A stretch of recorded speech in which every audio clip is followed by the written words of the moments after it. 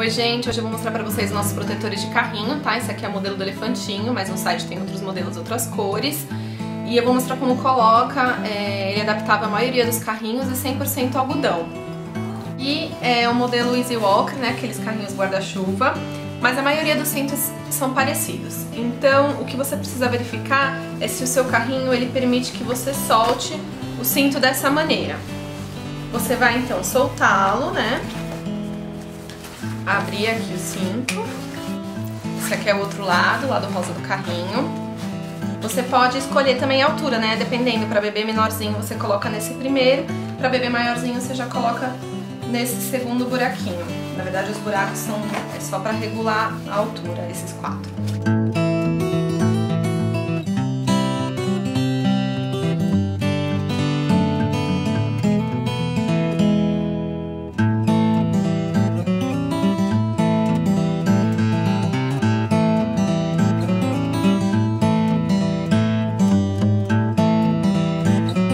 você encontra os nossos protetores de carrinho na nossa loja online www.sapiaprincesa.com.br.